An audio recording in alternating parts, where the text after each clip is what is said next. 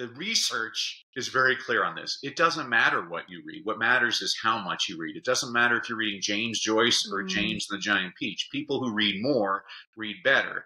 The little boy right. who only reads Captain Underpants is going to become a better reader than the little boy who refuses to read anything. I mean, Captain Underpants mm-hmm. is the gateway drug to Shakespeare, but you got to get him hooked first.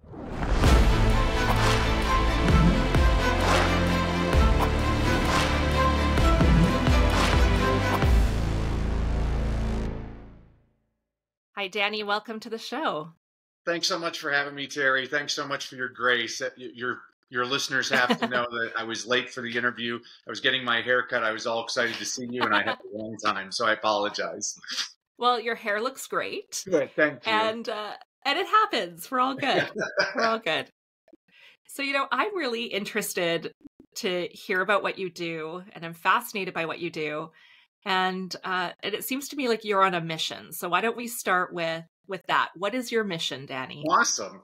Thank you, Terry. Well, my mission is to bring joy back into education in the workplace, and I do that in four different ways. First of all, I speak over 100 dates a year all over the world, primarily to schools, parent associations, and corporations, re energizing wow. people and reminding them why they do what they do.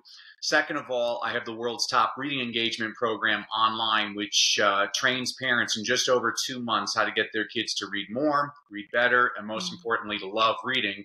Because I find, Terry, that schools do an adequate job of teaching kids how to read. But the question I mm-hmm. always ask people is what good is it teaching a kid how to read if they never want to read?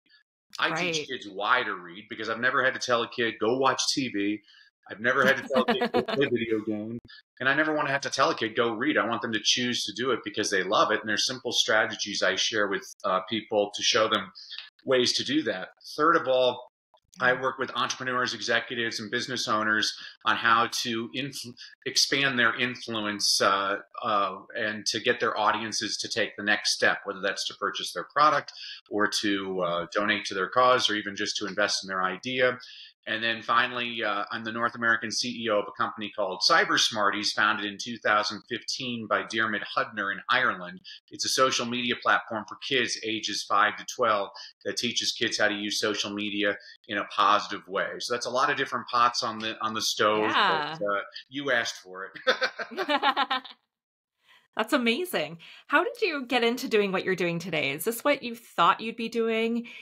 So, so Terry, I have a, a photograph of me when I was four years old wearing space boots, a San Diego Chargers jersey, a sheriff's badge, and a fireman's helmet because I thought I was going amazing. to be the first ever astronaut, professional football player, police officer, and firefighter. uh, that's the world I grew up in, which I was very blessed to have parents that always encouraged me. That their only requirement was that I always did my best at whatever I did. Uh, so the the short answer to your question is no. I had no idea I'd be doing this.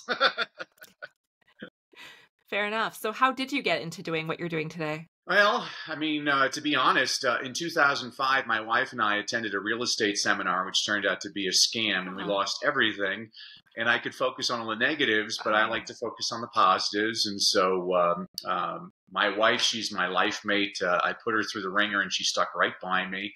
Uh, secondly, Amazing. I'm no longer so obsessed with money because I realize it's just a tool, and it's it's easy come and it's also easy go. Third, mm-hmm. I try not to judge other people because I realize if you don't know everything about a person, you don't know anything about a person. Because if I was somebody that looked right. at what I had done and be like, you deserve that, but I, you know, you didn't really know what my intentions were and everything. 4th mm-hmm. I became a Christian, which I'm, I'm, I, am i am humiliated to say it took me to screw up to find Jesus, but the more I real, read the Bible, the more I realize I'm not the first person to come to Jesus. I grew up. And then finally, I was a, a, university professor at the time, and my accountant wanted me to declare bankruptcy, and I really didn't want to do that. And so he said, Well, you're going to have to make this much more money this year. And so I started public mm-hmm. speaking on the side, and I hit the number right on the number. Well, the next year, Terry, he gave me a much higher number, and I hit that number right on the number. And so in year three, I thought, well, maybe I should set a higher number. And basically, during one of the worst economic downturns in American history, I was able to build up a speaking empire that uh, has been wonderful. And so, uh, you know, I, I was actually speaking at an event a couple of weeks ago, and I kind of felt bad because the two speakers before me they they kept on saying you need to enjoy the journey. and I was feeling a little facetious at the time. So I got up there and I said, "You ever notice the people that say enjoy the journey have already succeeded?" I mean, when you're struggling to make rent, are you like, man, I'm really enjoying this journey? This is, you know, the entrepreneurial journey yeah. really stinks.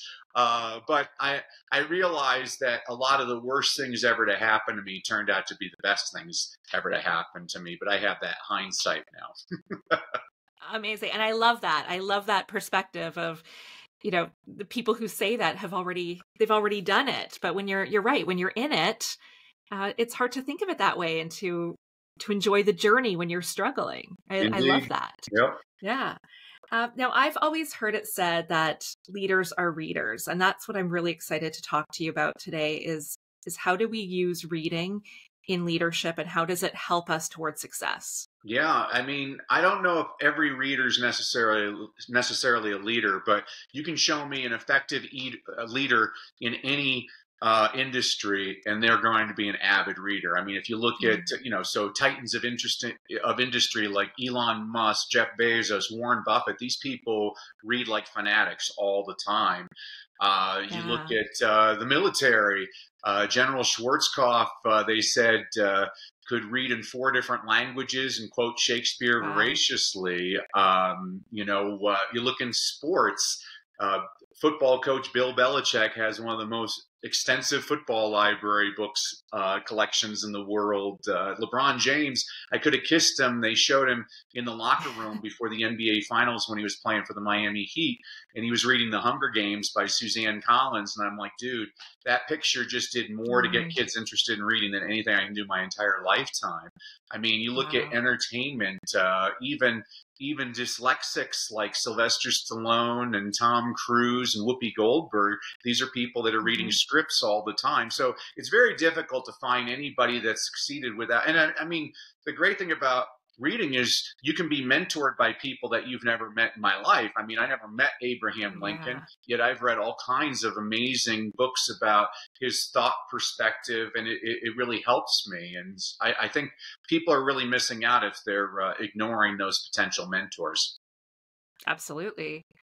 Um, and when it comes to reading, what kind of books should we be reading? Like, is it as beneficial to read fiction as it is to read, say, nonfiction or mindset books? Is there is there a better way to read or better books to read for us? Yeah, so it's interesting. It depends on what you want to accomplish. I mean, uh, you know, you look at uh, presidents and what they read. Uh, I was fascinated. Bill mm-hmm. Clinton always uh, intense moments, always liked to just read uh, mystery novels. Uh, always relaxed him, and cool. so he used reading as a relaxation. A, a, lot of people don't remember this, but President Kennedy, when he was president uh, a journalist asked him, "Well, what are you reading?" I'm like, "Oh," he said, "I'm I'm reading this really cool spy novel about this guy named James Bond." Uh, that press conference, because of that, uh, uh MGM bought the rights to James Bond, and they made the movie. So we have President Kennedy to thank for James Bond.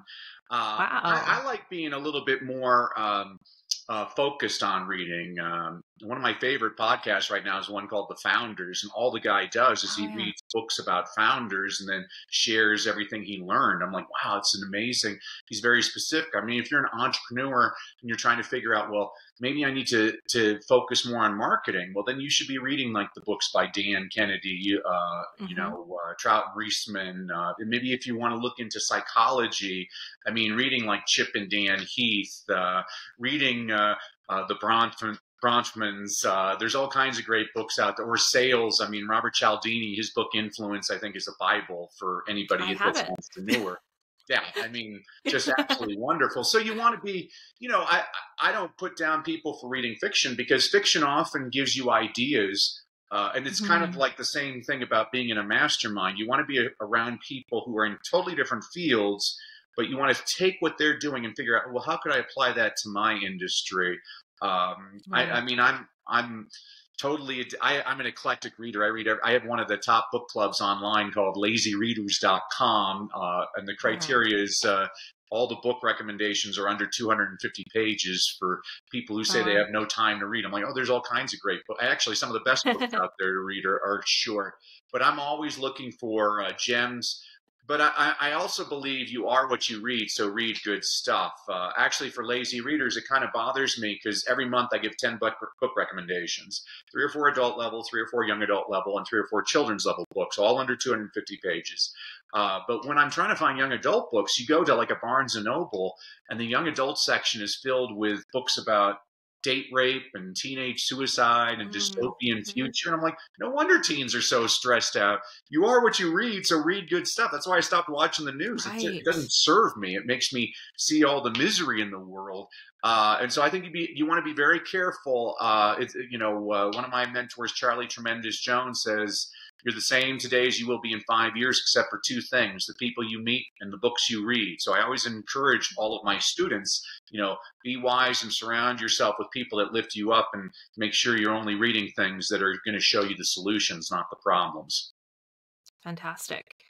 Is there um is there a difference between if we're reading if we're reading a physical book versus an audiobook? Because I know that's something my clients always ask me, like, is that okay if I'm just doing audiobooks? What are your thoughts on that? Yeah, so I, I, work with a lot of CEOs, and this is kind of a, a, a, secret that a lot of people don't realize: is over half of the Fortune 500 CEOs are dyslexic, and wow. dyslexia is just one reading disability. All reading disabilities are curable. Dyslexia is by far and away the most undiagnosed uh, uh, reading disability out there. And the thing is, Terry, dyslexics tend to process information better with their ears than their eyes. Mm. And so that's actually one of the first strategies I share with dyslexics is turn on the Audible books. Uh, one of my mentors, Jim nice. Trelease, he wrote a great book called The Read Aloud Handbook. I think it should be mandatory in every school in America. And uh, he shows you all the research on why the single best way to improve your reading is to be read aloud to. Uh, there was actually a great study done. Uh, they had 40 pregnant women, and every night the husband would read aloud to the womb green eggs and ham well, when the babies were all born, they had a graduate assistant then read aloud five different books to the babies. Every baby had a visual reaction to green eggs and the ham. And oh, that's so cool. I thought that was fascinating. I mean, and I, you know, the last book I wrote, the uh, the leadership begins with motivation book i wrote uh, yeah. this was an homage to paul harvey. When i was a kid i used to listen to paul harvey every day. He passed away a couple of years ago at the age of 325 years old but uh, every day he'd come on on the radio at 1215 he'd say i'm paul harvey with the rest of the story and the whole time you're trying to guess who's he talking about and uh, or what's the company.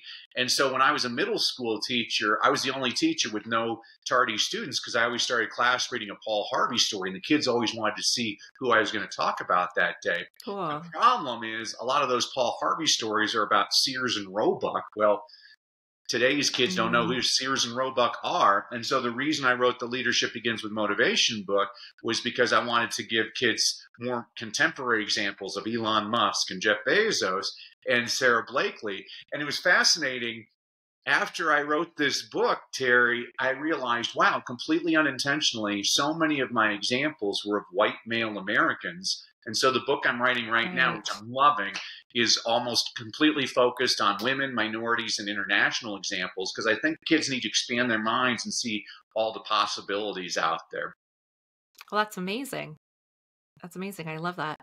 um, as you're, you know, as you're talking about Audible and and using that to help us become better readers, are there other tools or tips that you have for us on how we can develop a better reading habit. I know um, i asked in my instagram followers like what are your are you a reader? Are you do you want to be a better reader in preparing for this interview? And astoundingly all of them said i want to be a better reader. So how do we become better at reading well, that's good. I love that. Well, I'm going to give all of your listeners two numbers they need to focus on. The numbers are 67 and 20.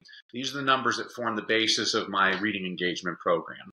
So the first okay. number, 67, a lot of people tell you it takes 21 days to change a habit. To those people, mm-hmm. I say, show me the research on that. I it's completely fabricated. I know exactly where the number comes from. It comes from a wonderful book that everybody should read, written in 1960, called Psychocybernetics mm-hmm. by Dr. Maxwell Maltz in the preface of that book, Dr. Maltz was a uh, um, plastic surgeon, and he makes the casual observation in the preface that he noticed it takes most of his patients about 21 days to get used to their new faces.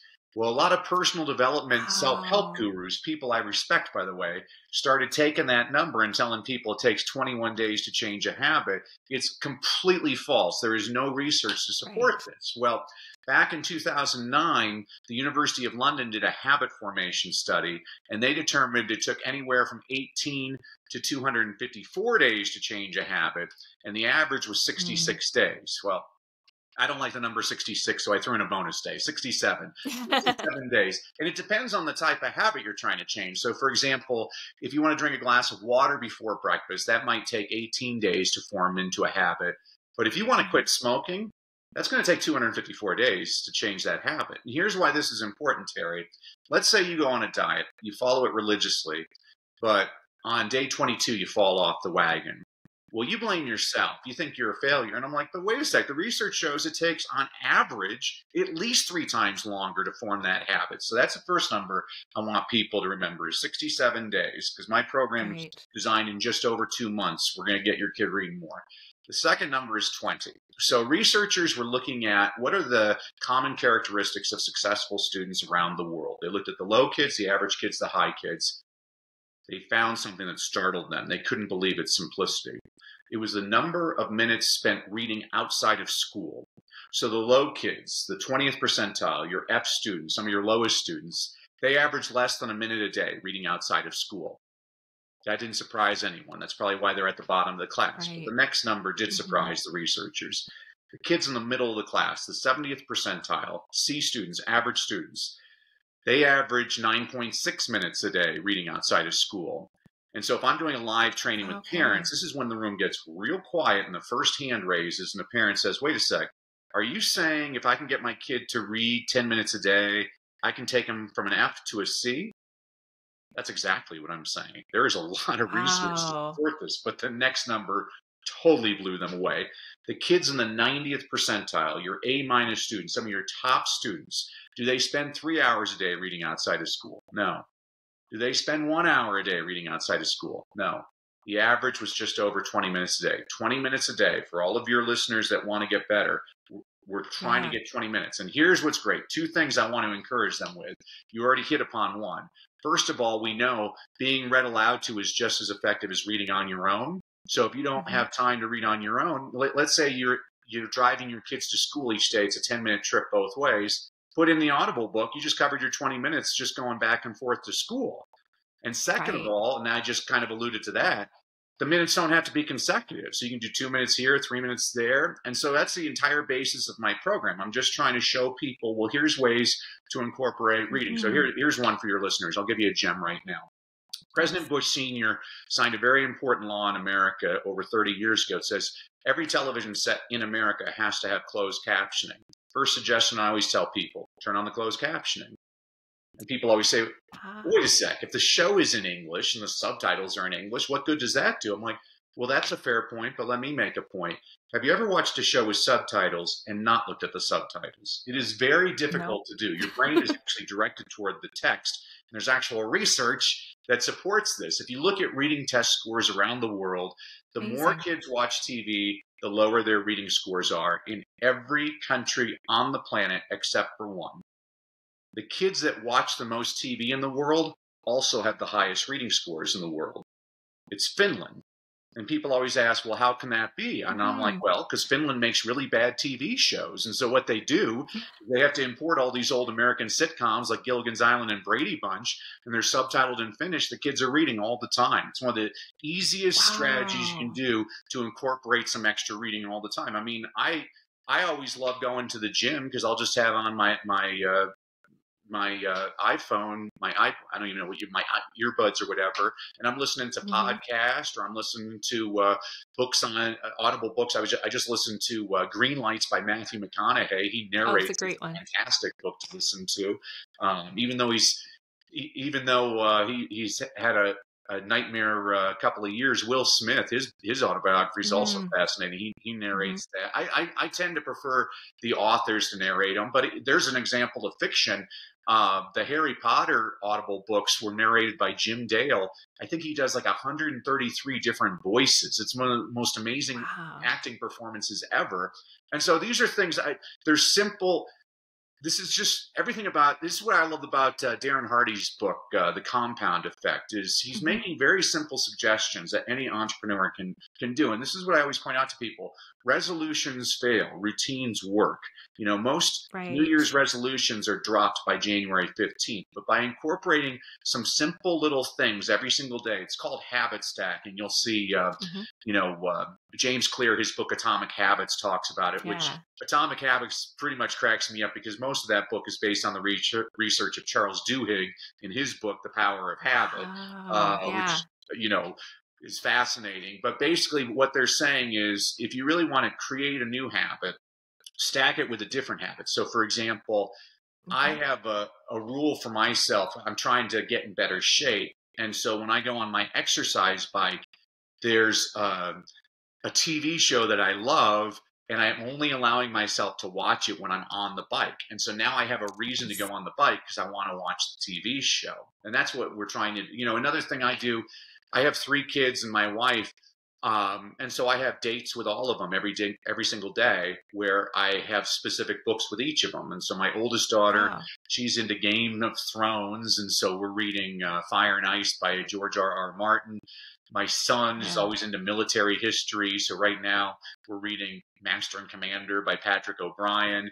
And then nice. my, for some reason, my youngest daughter, she loves literature. It drives me nuts. Uh, so we're reading The Great Gatsby, which I hate that book. But, uh, the more I read it, I'm like, okay, I still hate the story, but the way he writes is beautiful. Uh, that's yeah. Fitzgerald. And then my wife, um, gosh, we have this wonderful series of books. This uh, author, Beth Brower, uh, The Unselected Journals of Emma M. Lyon. These are like the nicest books. It's her and three guys in the, you know, uh, like Elizabethan time. It's just wonderful. I absolutely love. I'm like, it's such a mm-hmm. nice, pleasant series. Uh, you know, I, and I tell this to people: you are what you read, so read good stuff. I mean, if you read when you're reading the newspaper, you usually have to take a shower afterwards because you're so depressed. You know, I, I, I read things that are going to inspire me, and sometimes I'll read a book because yeah. I'm always looking for stories. Um, I just read a book, and the whole book stunk, but there was one little story in it. I'm like, ooh, it was worth reading the entire book just for this one little story. So sorry, I, I give long answers to short questions. Oh, I love it. All those people that want to read better, there's really simple strategies. And it, again, it's nothing, I'm never going to overwhelm people with this. Uh, mm-hmm. you, if you mm-hmm. can just incorporate and make them into habits, that's how you're going to have long term success. Yeah. Oh, that's great. Thank you so much for that. And and I love that you talked about the 20 minutes a day because I think I know for myself, I think if I don't have hours to sit down and read, then it doesn't seem worthwhile. And so I, I think you just let a lot of people off the hook yeah. and made it very simple. So, so thank you for that. Absolutely. Oh, well, and I mean, most people, you know, most people with their cell phones, they waste time. They're on social media all mm-hmm. the time. But I'm like, you know, when used properly, this is an effective teaching tool. And so, like, I'm always trying to learn different things because I'm not that bright. And so, uh, like, uh, I had read the book Dune by Frank Herbert. And there's a thing in that which actually entrepreneur, entrepreneurs would like it. It's called the Litany Against Fear. And it's this uh, motto that uh, the main character, Paul Atreides, keeps on saying in his head. He's like, I must not fear. Fear is the mind killer. Fear is the little death that mm. brings total obliteration. I will face my fear. I will permit it to pass over and through me. And when it is past, I will turn the evil eye to see its path.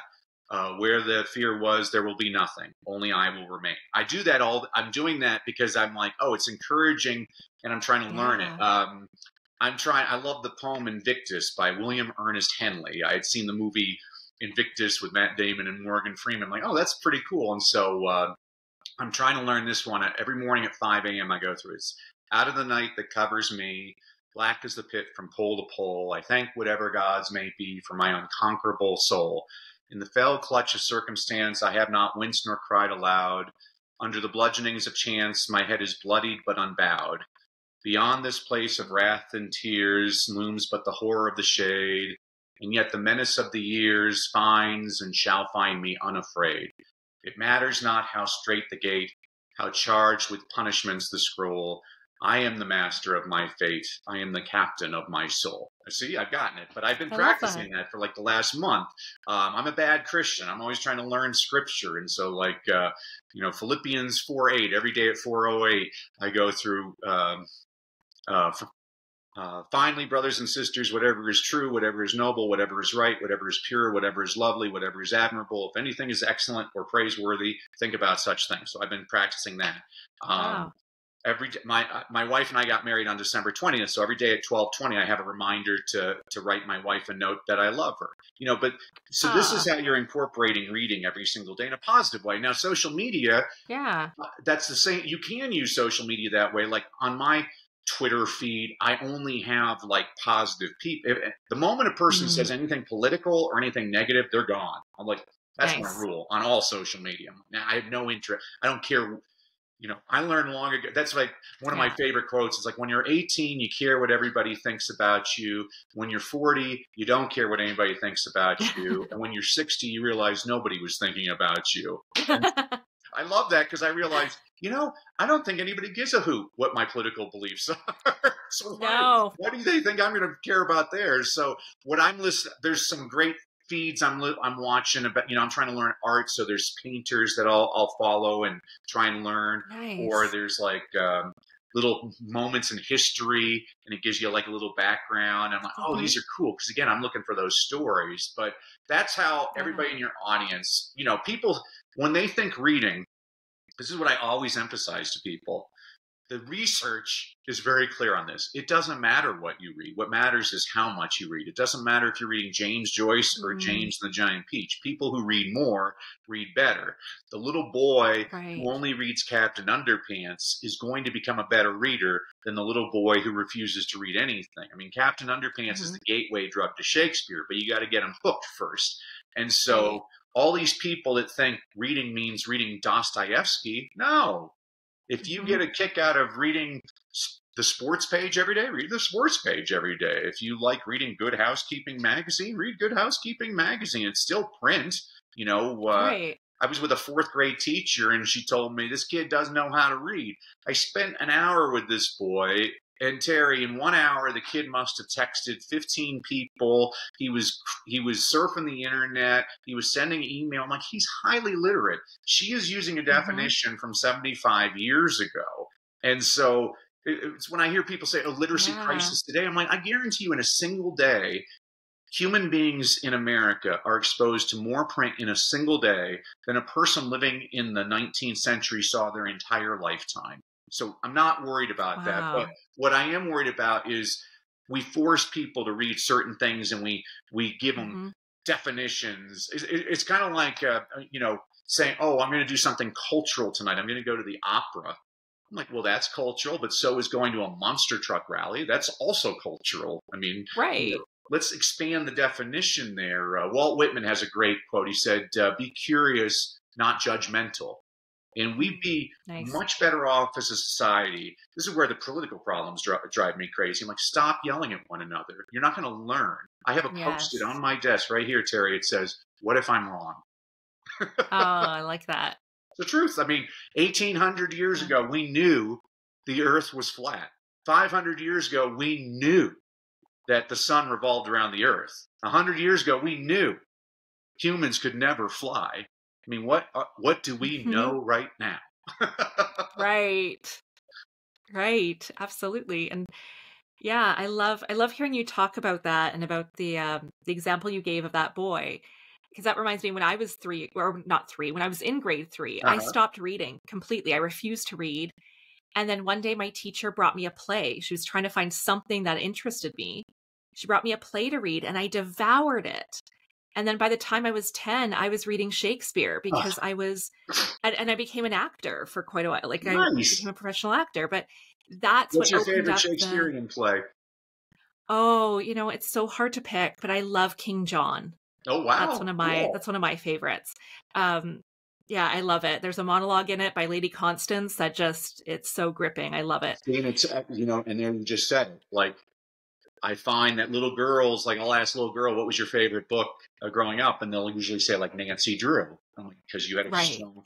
that's why the Harry Potter books are so amazing, is because yes, you have Harry Potter, but you also have Hermione Granger, who's also a strong character. And I think yeah. kids need to see those characters all the time. That's love. I mean, I I had that same thing. I hated reading growing up. My father was a librarian. I always hated the li- I hated, you know, the only thing I read was TV Guide when I was a kid. I remember in high yeah. school, my teacher made us read uh, the Scarlet Letter by uh, Nathaniel Hawthorne. And no offense to the people that love this oh, book, yeah. but uh, the book is about Hester Prynne commits adultery, and mm-hmm. so she's forced to wear an A on her chest. And I raised my hand and I asked my teacher if I could wear a B on my chest because I was so bored reading this book. And I, I, I love that your third grade teacher found something you were interested in. That's the key because yes. by getting you interested in it, then you're going to do it. And we know it's the ma- it's it's those minutes that matter, making it into that mm-hmm. habit. You know, uh, the reason we have a lot of obese kids is because PE class was like climb the rope and run laps. It wasn't like fun yeah. stuff. Uh, and again, it's really basic psychology. For all the entrepreneurs, like don't do things you don't like because you won't stick to them. Find other people mm-hmm. to do those things. Figure out what you're good at and make that your service. And then surround yes. yourself with a team of, you know, because some people they love doing taxes. Well, so I have a person that does my taxes. You know, some right. people just love uh, writing uh, copy uh, for marketing copy. Well, i am going to hire a person that loves doing that. Like, figure out what you're good at. You know, it's like my wife a couple of weeks ago. Our toilet broke, and she she asked me to fix it, and so I called the plumber. And she's like, I asked you to fix it. I'm like, I did fix it. I called the plumber. He fixed it very quickly and it only cost me this much money. If I had done it, it would have taken forever. It would have been done incorrectly mm-hmm. and it probably would have cost more money. She's like, that costs a lot yeah. of money. I'm like, I charge a lot of money for what I do. I'm really good at what I do. And I pay other people a lot of money because they're good at what they do. People are crazy. Yeah. People are silly to me. oh, I agree. Definitely. Definitely. You have um you have a gift for the the listeners today. Do you want to tell them about? Yeah, if you, as, you a, as a thank you for bearing you, Teri, and all your listeners uh, paying attention to me today, I wanted to give everybody a couple of freebies. So if you go to freegiftfromdanny.com, again, freegiftfromdanny.com. I'm going to give everybody a complimentary e-copy of my book, Read, Lead, and Succeed. This is a book I wrote for an elementary school principal who was trying to keep his faculty and staff positively mm. engaged. So I said, okay, I'll write you a book. So every week I give you a concept, an inspirational quote, an inspirational story, a book recommendation on a book you should read, but you're probably too lazy because you're an adult. So I also give you a children's picture book recommendation, demonstrates the same concept. You can read that in five minutes. Nothing turns me on more than watching CEOs start their meetings with Dr. Seuss. Uh, I'm awesome. also going to give everybody access to a five day reading challenge I did last summer with about 700 parents around the world, where every day for an hour for five consecutive days, I give you all kinds of strategies to get kids more excited about reading because the more excited you are to read, the more likely you are to read.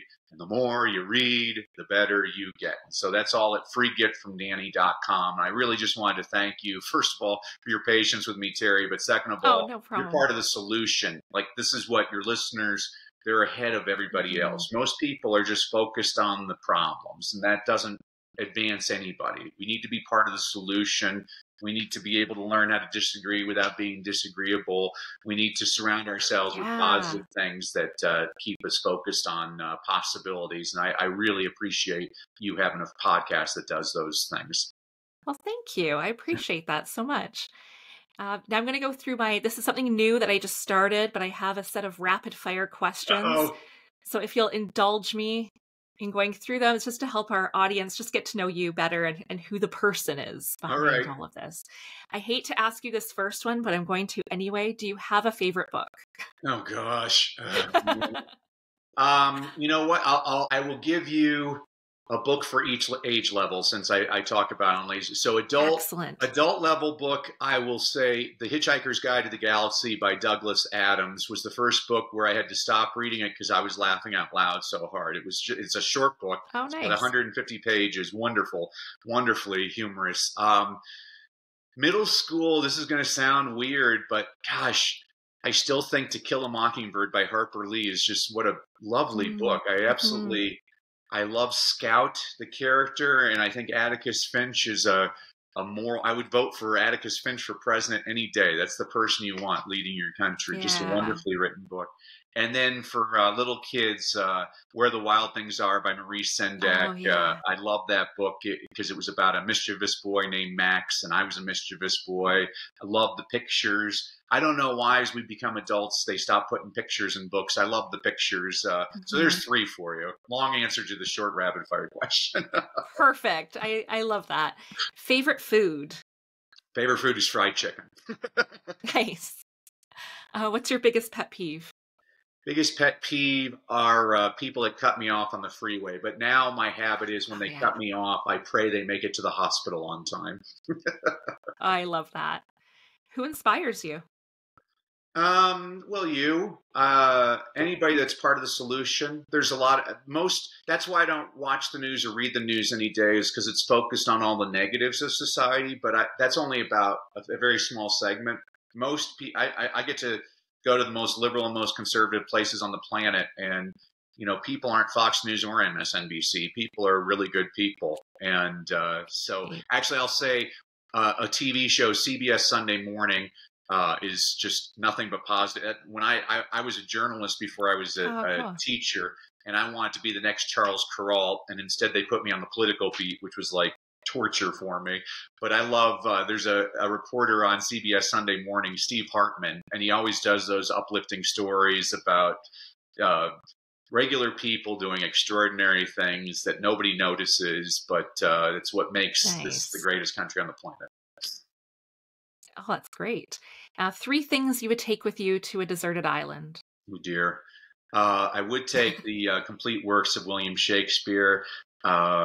I would take the Bible, um, mm. and I would take a book on uh, how to escape a deserted island. smart, very smart.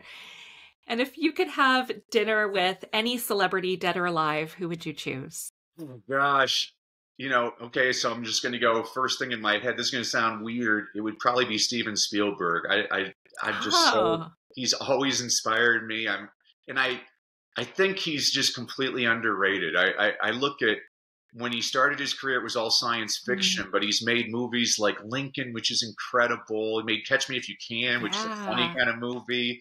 West Side Story, I was angry when they remade that because that's one of my favorite movies, and I watched his remake, and I'm like, oh my gosh, he did it better. It's it's and yeah, it's beautiful. Yeah, I yeah, that's that's who I'd say.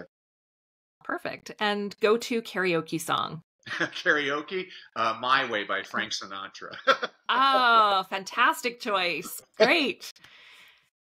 Well, thank you so much for being here. Before we close off, do you have any last thoughts you want to share with the listeners? Uh, you know, I, I all those people. I, first of all, I'm just so impressed that your audience they wanted to learn how to read better, um, and it doesn't take that much. It really mm-hmm. doesn't. Mm-hmm. Uh, I was not a reader. The only reason I became a reader was I taught in the inner city, and when I saw my students right. didn't have a lot of the advantages I had growing up, I said, shame on me. And, you know, I was blessed. I had both of my parents in the home. We weren't wealthy, but we also always had food on the table. And my parents always read in front of us kids, to us kids, and I had plenty of access to reading oh, materials. Oh, yeah. And for that person out there that feels like it's helpless, there's this great government program in almost every community. They got these buildings, and in these buildings are rows and rows of books. And get this all you have to do is apply for a card and they'll let you take these books home. They're called public libraries. and uh, I would encourage anybody, and especially the people that are trying to, to in, improve their reading. You said something really important earlier, uh, Teri. You don't have to read for an hour. You, you read mm-hmm. when you can. You mm-hmm. have you find those times in your day. I like to start off my. I, I have a, a, uh, a prayer journal. I've been I'm in the eleventh round of reading it again, and every day it's oh, like wow. a, a quick little five minute read, but it's inspiring. Um, I I look for inspiring things to read because I'm a big believer in uh, you become what you think about. Uh, they say garbage in, garbage out, and I don't believe that. I think garbage in, garbage stays. And mm. I think it's really important to to be very critical of and very very intentional of of reading things that are positive. Um, you know, life's too short, yeah. and uh, people aren't as different as a lot of people like to think that. So uh, that would be my advice. Uh, I I didn't.